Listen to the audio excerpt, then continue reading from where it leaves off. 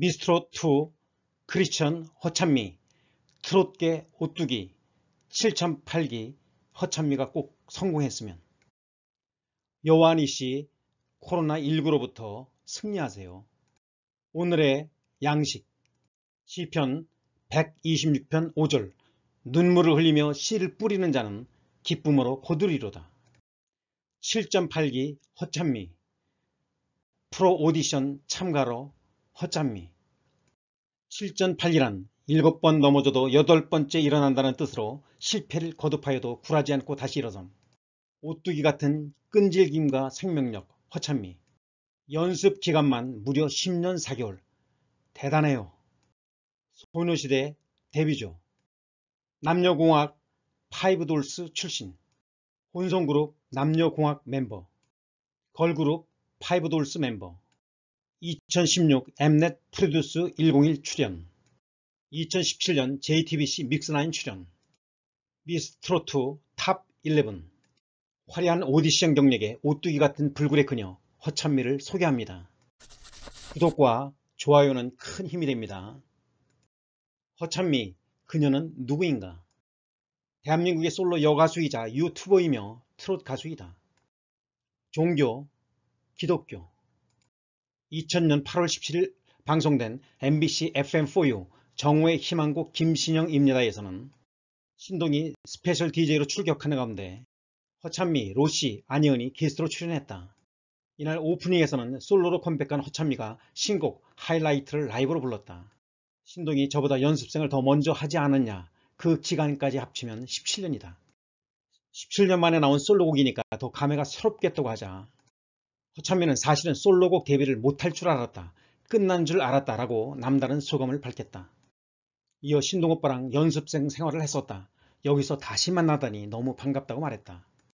신동이 그룹 남녀공학 파이브돌스도 하고 오디션 프로듀스 101 믹스9까지 출연했는데 솔로로 데뷔했다고 하자 허찬미는 데뷔하고 나서 공백 기간이 길었다. 회사에서 처음 솔로 준비를 하자고 했다. 그래서 계속 전야고 되물었다고 털어놨다. 가족 반응을 묻자 허찬미는 가족이 기독교인데 바로 할렐루야라고 했다 고 덧붙였습니다. 이번에는 허찬미님이 꼭 성공을 하고 꽃길만 걷기를 기도합니다. 허찬미, 그녀는 누구인가? 출생 1992년 4월 6일 28세 고향 경기도 남양주시 신체 162cm 44kg A형 소속사 퍼스트원 엔터테인먼트. 학력 동덕여자대학교 실용음악과 연습기간 무려 10년 4개월. 데뷔 2010년 9월 30일 엠넷 엠카운트다운에서 남녀공학의 EP 앨범 Too Late로 데뷔. 2011년 2월 17일 엠넷 엠카운트다운에서 유닛그룹 파이브돌스의 입술자국 너 말이야로 데뷔했다. 허찬미 솔로 데뷔 퍼스트원 엔터테인먼트와 계약을 맺고 2020년 7월 23일 솔로로 데뷔하였다. 허찬미 7전 8기 솔로 데뷔 허참이가 뮤직뱅크에서 완벽한 무대 매너로 시선을 사로잡았다. 가수 허참미는 2020년 7월 31일 방송된 KBS ETV 뮤직뱅크에 출연해 라이치를 선보였다. 강렬한 퍼포먼스에 가창력까지 선보이면서 시선을 사로잡았다. 솔로로 데뷔한 허참미는 라이치로 활발한 활동을 이어가고 있다.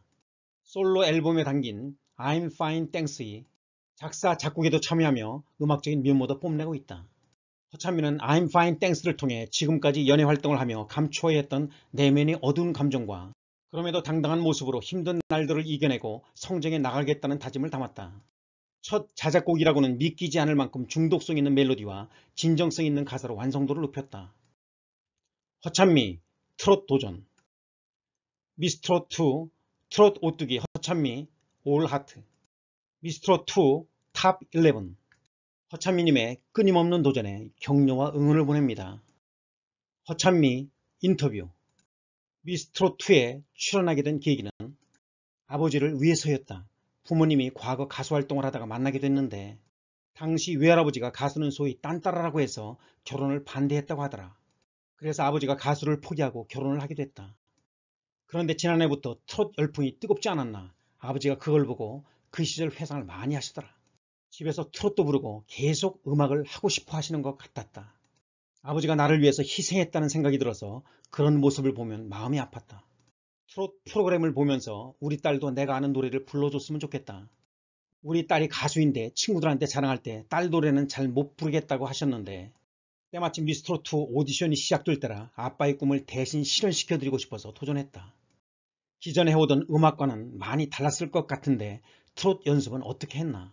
내가 불렀던 창법과는 너무 달랐다. 소리 내는 게 다르니까 바꾸는 게 힘들었다. 그래서 아버지가 도움을 많이 줬다. 직접 레슨도 해주셨는데 혹독하게 하더라.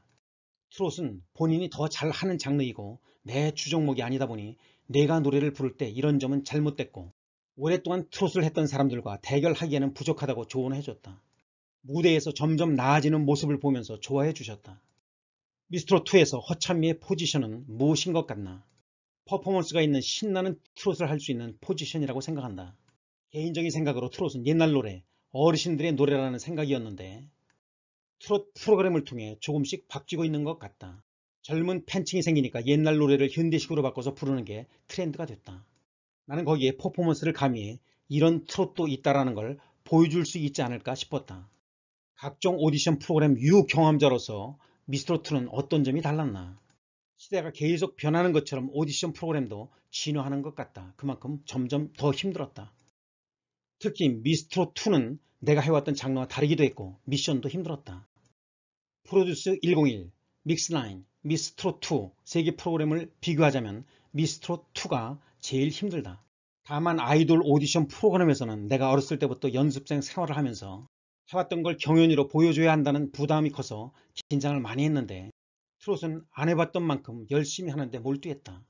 처음 해보는 거라 비교할 수 있는 게 없으니 마음을 내려놓고 편안하게 했다. 미스 트롯2 출연 후 가장 달라진 점은 처음에는 부담도 많이 되고 큰 용기가 많이 필요했는데 출연하기 잘했다는 생각이 든다. 출연 후에 나를 더 많이 알아봐주고 사랑해주는 분들이 늘었다. 원래 내 playlist는 대부분 팝송과 가요였는데 요즘은 전부 다 트롯으로 바뀌었다는 것도 달라진 점이다.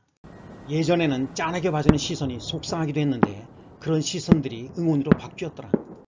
미스트롯2 출연하면서 달라진 점이라 감사하고 좋다. 가장 기억에 남는 무대는 뽕간의 무대가 가장 기억에 남는다. 메들리다 보니 곡이 많아서 연습 과정에서 힘들기도 했지만 팀워크가 정말 좋았다.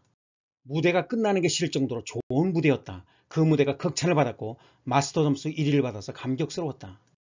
가장 기억에 남는 반응은 트롯 오뚜기라는 별명으로 불러주시기도 하더라. 계속해서 도전을 했고 오랫동안 활동을 하면서 포기하지 않고 끝까지 좋아하는 음악을 하는 오뚜기 같은 이미지로 봐준 것 같다. 아쉬운 점도 있을 텐데 결승전에 진출하지 못한 것에 대한 아쉬운 마음이 있다. 나는 여기까지 올라온 것만으로도 기적이고 감사하게 즐기고 가야겠다는 생각이었다. 떨어져도 여한이 없다는 마음이어서 긴장을 안 했다.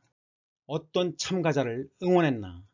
은가은을 응원했다. 은가은과 뽕간의 팀을 함께하면서 친해졌다.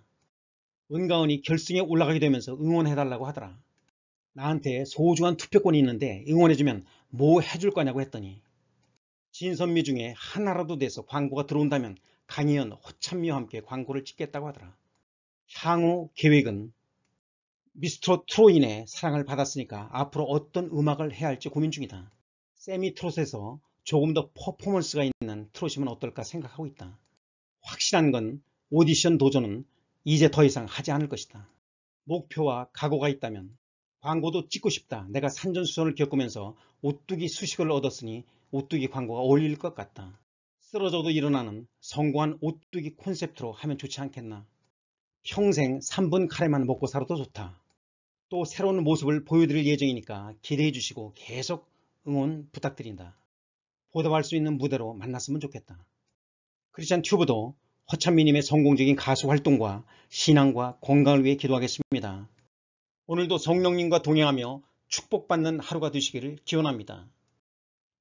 모든 문제의 해답은 예수 그리스도이십니다. 마음에 감동이 있으신 분은 가까운 교회로 나가세요.